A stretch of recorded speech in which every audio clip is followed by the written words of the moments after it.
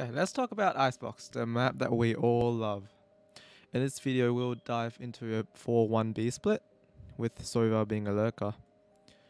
Okay, so the composition I choose for this strategy will be Jett, Sage, Reyna, Omen, and Sova. And enemy team is just a mirror matchup. I have the enemy team do a setup that you can very see commonly in a comp match. Wall down tube to block tube passage, and an arrow long be long to scout for early info. Before we get into the phase of attack, here are the path that we would take, take to B.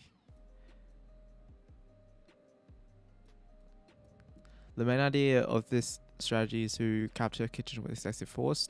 It's a crucial position for attackers to have control of. It allows to cut off rotation with player picking out of hut here, cutting off guard, while also allow the entrance to top side of B.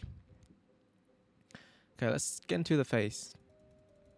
First phase of attacks, Sova will do a recon bolt right here on orange. The purpose of the arrow to scan front of orange here, around here to see if any um, player be play be orange aggressive trying to pick down across the tube. Next up, Omen would dark cover right here next to tube where the it allows entrance into underpass as well as cut vision from both boiler and mid pallet. So when the team start moving up with Sova then after the arrow try to progress towards garage for a lurking play. At this point Omen will also do another smoke onto B kitchen window because most likely if they're not playing aggressively they'll most likely be playing around here kitchen trying to play probably try to slow up this um the push so we got to try cut off that vision Next up, just in case if the player also here watching, because at this point, um, the other player might be able to tell that the team's to go through mid to B, so this player could go around here to help.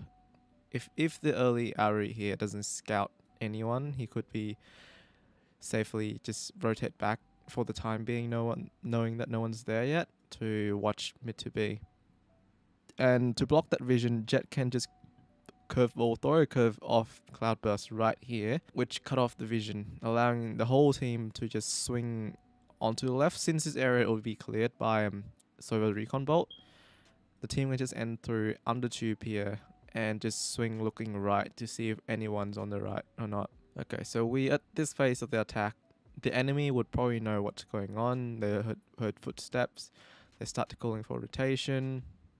Omen will probably try to come up kitchen here and try and help Sage. And this guy would probably start rotating and they'd be around here. I'd say Omen would get around here by this time. Just in case, there very well be could be just someone sneak past so he might sit and watch the smoke and not rotate. Keep in mind that this player doesn't know what the attack is up to, uh, other visions have got cut off. The next step would for Jett to re-smoke the kitchen if if it is if the smoke fade and you don't smoke it um deep originally like did. You smoke it around on the box when you jump up and go into kitchen. What it does is that play if they got block off vision, you can just go here and try to watch if someone try to jump up into kitchen. And the purpose that smoke is to block that. Or teammate can just watch. Reyna can leer in.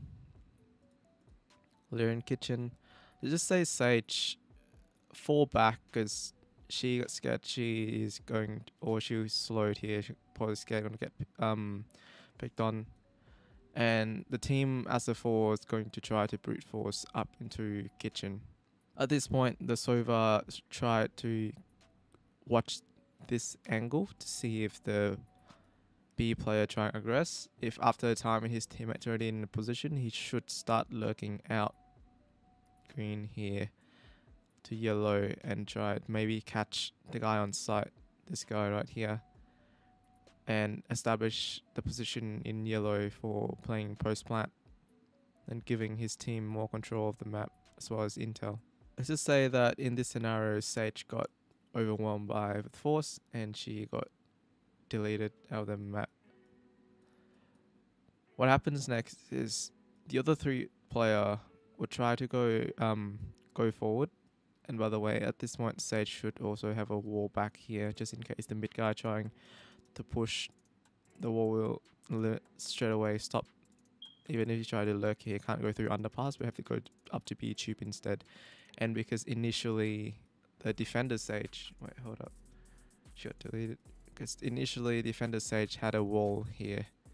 So two way to enter into kitchen or into mid to B have been blocked by both the walls. Um, this point, and then Sage would probably stay back in kitchen and just stop, just hold hold down this area for his team so he doesn't doesn't get flank.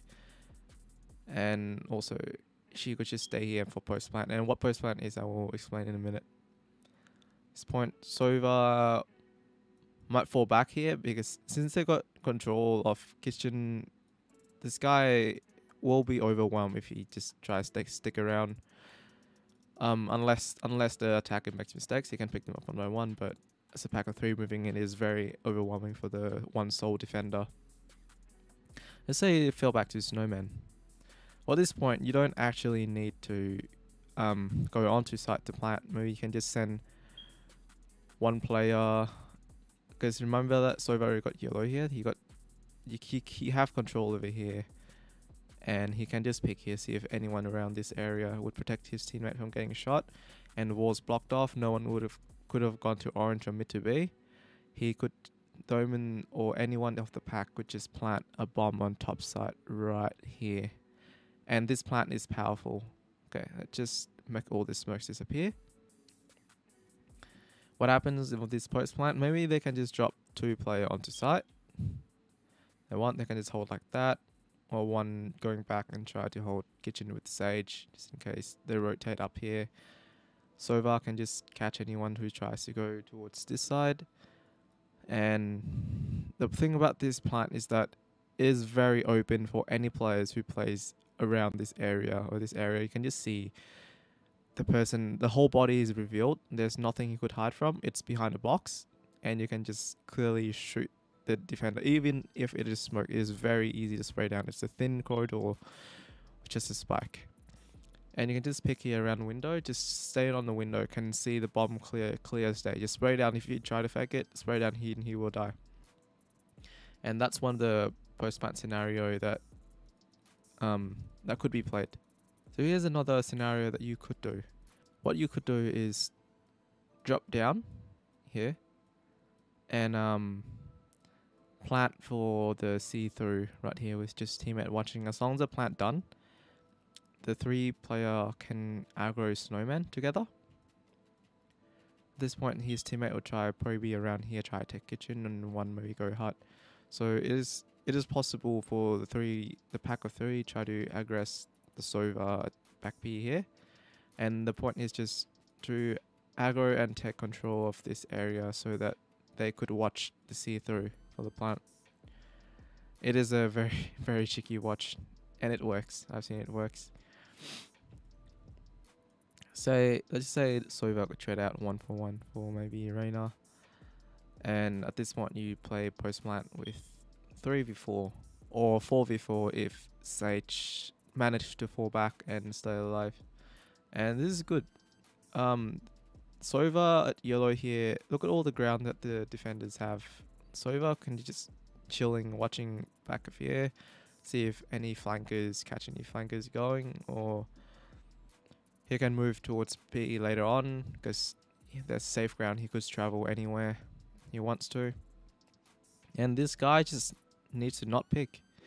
They just need to play time. They just need to delay this guy as much as possible and play the see-through plant at this point, if you play if the player see through, Sage should probably try and get out of kitchen here and play orange instead. It's much easier and it provides a crossfire not not so much of a crossfire but more pressure on the bomb from more direction um on the spike from more direction so it's harder for the defenders to retake. Okay, there's there are a few points I want to make. So a lot of time executing timing and progression usually start with Sova Recon Arrow. And this strats allow the attacker to change the pacing of the round with Sova being the the lurker and harder for defender to de detect the execution with Sova not initiating with his utility. Sova could also send arrow A at the start of the round to mind game the defender and immediately rotate back to B garage for the lurk. That's one of the reason why I put Sova on Lurk instead of going with the team. Oh, that's just for the extent of this video. If you like the video, drop a like button down below. I do stream every Monday to Friday except Wednesday from 7.30 to late Sydney time. Links also in description. And that's it for me. Peace out.